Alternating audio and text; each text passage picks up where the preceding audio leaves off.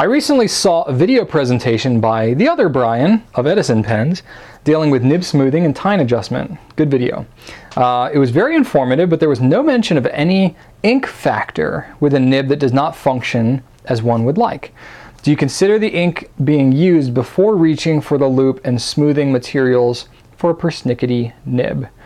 So I know Brian Gray, he's a great guy. Him and I have Skyped quite a bit and done some like nib tuning stuff together.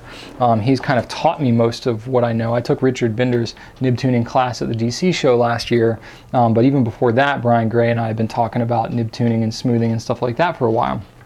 So I'm kind of familiar with where he's coming from for his nib tuning stuff. Um, and kind of the blanket statement I think I can say is that um, yes, ink can be a factor in your your writing experience certainly. Um, it's mainly a factor with flow like how wet something is. It's less of a factor with how smooth a nib feels. Now there, there are some subtleties. You can definitely feel some inks feel a little smoother than others um, but mainly, I think a lot of that has to do with some of the lubricants that are in the ink, and then also if you have a wetter writing ink, you're gonna you're, you are gonna put less pressure down while you're writing, so the nib will feel a little smoother. So I think there's some of that variance going on that you're kind of adjusting to the ink. Um, so it's not necessarily the ink is making your nib smoother necessarily. So there's a bit of that going on, but basically it's kind of like if you have a car, right, and you want your car to perform a certain way. Putting like high test gas instead of the cheap stuff can make a difference. But if you ultimately want your car to really perform differently, you need to adjust the engine or the tuning in the car. You know, you don't say, oh, well, I'm going to put different gas in it and then my car will be faster or better or whatever. It's like, okay, there will be some difference based on the gas you put in but really, it's going to matter how the car is tuned and maintained and adjusted, and then what parts might be swapped out and stuff like that. Uh, that's going to matter a lot more than the type of gas you use. I guess that's a pretty good analogy. I pretty much just came up with that on the fly. So tell me if that's a good analogy or not. So nib, nib guys, pen guys, gals, whoever it is that is working on these things, the ink is a factor, but I think they care a lot less about the ink. They want the tool to work properly and then the ink will provide some variance on top of how, however it's tuned. So basically a lot of the nib folks that I know will kind of just use like one ink or a couple of inks that they're familiar with as a baseline and they kind of tune off of that.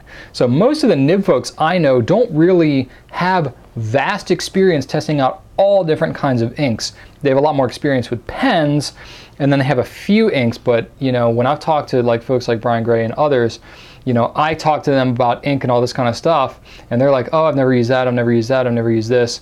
You know, because they're they're dealing with pens and tuning all day. They're not testing out 600 different inks. You know what I mean? So um, they they don't really look at that. They don't come from that lens of let's use the ink to adjust. I think as users, you know, and I came from a user uh, crowd, you know what I mean? Like I came into this hobby not knowing anything about it. I kind of got into the pen business really as a novice. And so I've learned right along like you guys do, like you've seen the videos I've put out, very heavy um, user focus, very heavy um, kind of newbie getting into the hobby focus because that's literally what I did. So I wanted to kind of, you know, you know, make a path that followed the way that I went. Um, so that I could make it easier for anybody else who kind of followed the same path. Um, so for me, the first year that I was in this pen business, I didn't sell any pens. I knew nothing about tuning and all that kind of stuff. Really, it was all about ink and paper for me. So I learned to adjust my writing experience based on ink and paper. And there's definitely some factors you can you can weigh out there.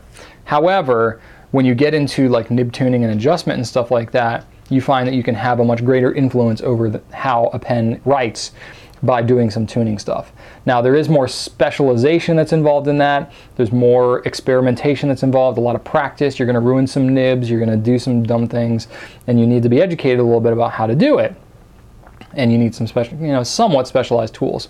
You know, you can't just use like wet sandpaper. Um, you need some like micro mesh and stuff like that, and a loupe and things. So basically, when it comes down to somebody like Brian Gray's lens, he's always gonna grab the pen and go to adjust it first you know, me, where I'm coming from, when I speak to somebody, especially if they're newer into the hobby, they don't know anything about ink, so I'll kind of ask like, well, what ink are you using? Oh, you're using this really super dry ink? Maybe you should get a sample of this other wetter ink and see if you like that better because they're kind of learning the ropes. I wouldn't take somebody that's brand new into the hobby and say, oh, here's a loupe, here's micromesh, you should practice adjusting and then you can have a better writing experience. They're not gonna know what the heck they're doing and they could very well ruin their pen altogether and have a terrible experience and leave the hobby and never come back.